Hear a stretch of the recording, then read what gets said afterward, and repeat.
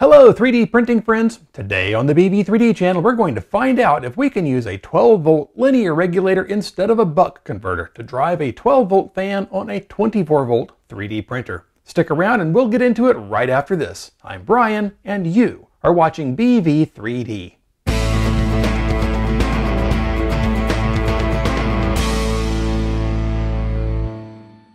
Hi, welcome back. Hey, if you're new here and you're wanting to learn about cool 3D printer upgrades, 3D modeling, and other 3D printing related stuff, start now by subscribing and clicking the bell so you don't miss anything. Okay, so today we're going to find out if we can drive a 12 volt fan using a linear voltage regulator such as the venerable LM7812 instead of using a buck converter. Why would you even want to use a 12 volt fan? Well, mostly to try reducing the amount of noise a 3D printer creates and it seems that all the quiet fans are 12 volt fans. Noctua is one of the higher rated brands, but there are others such as Arctic. Now, unfortunately, these fans are often geared toward making PCs quiet, and PC power supplies output 5 and 12 volts. So if we're going to use one of these fans on a 24 volt 3D printer, say for cooling the heatsink on the hot end, we're going to need to drop that 24 volts down to 12 volts. Now previously I covered how to use a buck converter to do this. Buck converters are little circuit boards that take an input voltage and regulate it to a desired output voltage. Usually, buck converters have a little potentiometer on them and you turn that with a small screwdriver to set the output voltage right where you want it. And typically, you can set the output voltage to anywhere between 3 volts almost all the way up to whatever your input voltage is. The adjustability is nice. But in the comments of that video, Mickey the Fuzzbutt asked, does anyone know why no one isn't just using a simple LM7812 voltage regulator instead of a buck converter to do this mod? Now, my initial reaction was heat. In my experience, a 7812 voltage regulator can get pretty hot when it has to consume a steady diet of 24 volts while giving out only half that amount. The rest of that power essentially turns into heat. But Mickey says that the 7812 is only dissipating half a watt of power, so it shouldn't be a big deal, and that it could be mounted to the printer's case to use it as a heatsink. Mickey also says it should work fine without a heatsink, and in that configuration should only get up about 25 degrees C hotter than the surrounding air. Since the ambient temperature in the room here is about 20 degrees C, the 7812 without the heatsink is expected to reach somewhere in the vicinity of 50 degrees C. That's not hot enough to cause a serious burn, but it's still warmer than I'd want to touch for more than a few seconds. So I thought it'd be a good idea to see what happens when you use a 7812 instead of a buck converter. For about 12 bucks, I got a dozen heat sinks and 15 7812s from a large online retailer whose name I am apparently forbidden to mention, but which may or may not share the name of a rainforest located primarily in Brazil. I also grabbed a couple of buck converters that I had from the earlier video. I have this arguably huge one here, and I've got this postage stamp size one here. I had originally bought the large one for the buck converter video, and then I found the small one, so the smaller sized one is what actually made it into that video.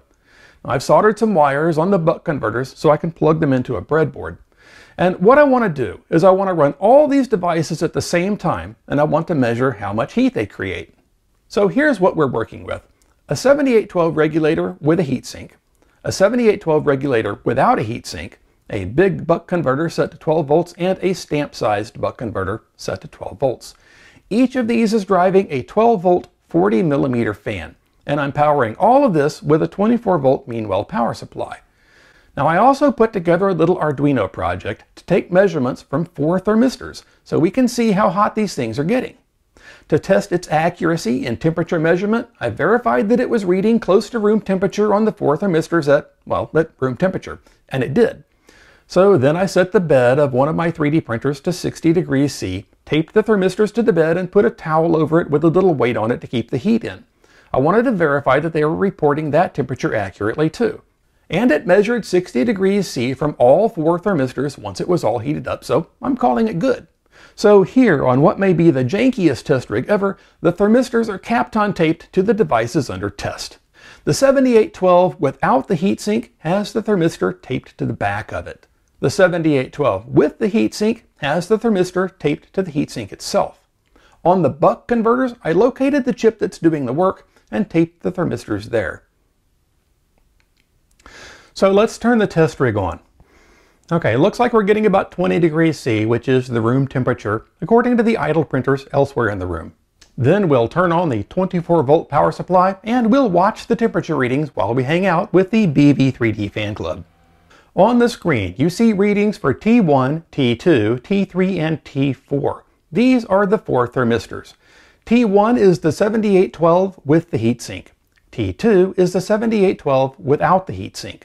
T3 is the big buck converter and T4 is the small buck converter. So right away we can see that the 7812 regulators are starting to heat up pretty quick. The buck converters are warming up a little bit, but not nearly as quickly. Okay, so what I'm going to do is speed up the footage and we'll see what we're getting for temperatures after about 15 minutes. Wow, that's eye-opening. The 7812 with a heatsink is over 60 degrees C and the 7812 without a heatsink is over 90 degrees C. Those are both really hot. Now meanwhile, the two buck converters stayed below the body temperature of your average human. The larger one was a little warmer than the smaller one. So I don't think I want to use a 7812 regulator to get 12 volts to drive a fan. I mean, yeah, the small buck converters are a buck 20 apiece, while the 7812s are only 40 cents each. But without a heatsink, that 7812 got dangerously close to the boiling point of water. So you either need to add a heatsink, bringing the cost of that 7812 up to 90 cents, or drill a hole in your printer's case to mount it so you can use the printer's case itself as the heatsink. So depending on how you look at it, the cost difference between using a 7812 and a buck converter to drive a 12 volt fan on a 24 volt printer is between 30 and 80 cents. My personal preference is to spend the extra 80 cents to get the buck converter, and here's why. Power-wise, the buck converters can handle up to 3 amps of power, while the 7812 regulators can only handle 1 amp. Now, for driving cooling fans, either of these will be fine. But convenience-wise, the buck converters are a more general purpose device because they can be adjusted not only to 12 volts, but 5 volts and even down to 3 volts. At 5 volts and 3 amps, they are perfectly capable of powering a Raspberry Pi. So if you run Octoprint on a Pi, and you wanted to use your printer's power supply to power it, you could do that. And that would be one less power brick plugged in near your printer. And heat-wise, no question, buck converters win. So that's my take on it. Yes, you can use 7812s to get 12 volts, but they get pretty hot. If you have a bunch of 7812s in a parts bin somewhere and you just want to use them up, and you have a way to handle the heat, go for it. As for me, I'll stick with the buck converters because buck converters are cool. Or at least they're about room temperature. I want to thank Mickey the Fuzzbutt for bringing this subject up. I was pretty sure the 7812s would run hotter than the buck converters, but honestly I didn't know how this would play out or how hot the 7812s really got. Plus, this was a great opportunity to lash together a test rig and research how to connect thermistors to an Uno and write some code to monitor the temperatures and show them all at the same time on that little LCD screen. So I guess the takeaway from this experiment, apart from Bryan likes buck converters, is this. Do not be afraid to question things. Now, by no means do I know all the answers, and I'm not an expert, but I do appreciate the occasional challenge, and I had a lot of fun thinking about how to test these devices. And now we have an answer to the question, heat. So with that, I think we're just about done. Thanks for making it all the way to the end, and thanks for all the likes, comments, and shares. Don't forget to subscribe and click the bell so you don't miss any cool 3D printing stuff. If you liked this episode, please give it a thumbs up. If not, give it a thumbs down. But either way, please share your thoughts in the comments. If you like the content I'm producing and you want to help out, check out the description for ways you can do that. Shopping using the affiliate links really helps, and heck, even just subscribing is a great way to support the channel and help keep me making these videos for you.